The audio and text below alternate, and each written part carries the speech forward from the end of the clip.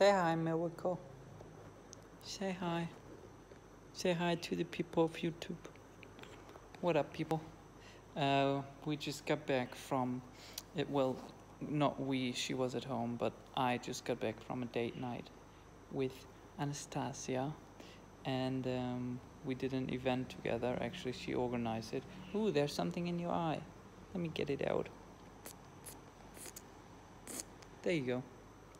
And um, I realized one thing, and I wanted to talk about, and it's um, you know these moments where you're in a room with people who are all way smarter than you, and everyone's saying smart fucking things, you know, and you're just sitting there in the corner and like not saying anything, just listening, and you know, just feeling like you can't really add anything to the conversation because you're not as smart as everyone else is and you kind of feel bad about yourself about being so stupid and um,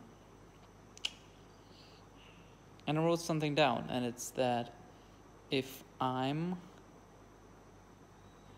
the person talking the least I'm the person learning the most because think about it if you're talking if you're sharing things that you know, then you sound smart to other people.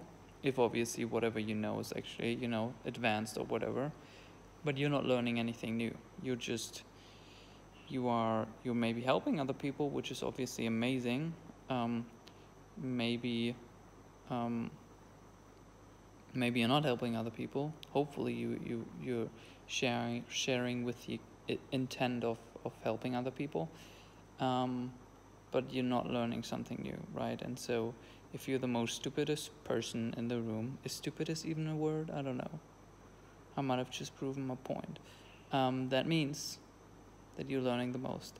Same with what I also wrote down was if I'm the most uncomfortable in the room, I'm the person growing the most, right? Because um, we did a reading event where everyone has to kind of read something and present something and share something that they read or wrote themselves. And so I read a, a, a page out of Man's Search for Meaning, the book, and I was so uncomfortable. Well, not so uncomfortable, but I was uncomfortable doing it. I was like, I'm just reading a page out of a book in front of like six people, I think and they all did it and they maybe even share things that they personally wrote.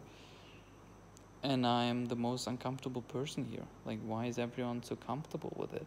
And like on you kind of want to feel bad about it right? Because you're like why why am i uncomfortable with such a tiny simple thing while all the other people seem to not be uncomfortable with it and just you know be comfortable?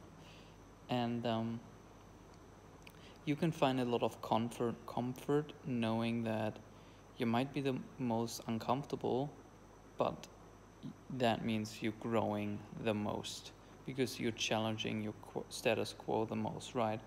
And in the same token i want to go back to that phrase more often because again there's a lot of comf- comfort knowing that if you're talking the least you're learning the most and in the moments where you feel you are the most stupidest you're the most stupid person in the room that means that you're catching up the fastest because you're learning the most.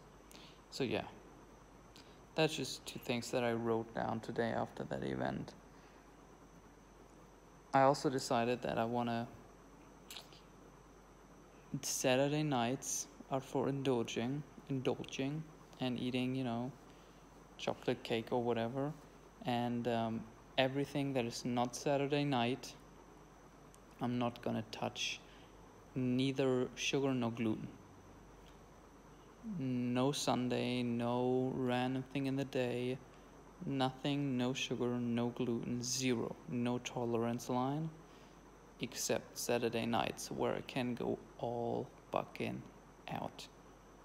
And so I had some popcorn, we watched a movie I had some brownie with ice cream, and I had like a local dessert thing spread across the night, okay? I didn't throw up. I might though. yeah.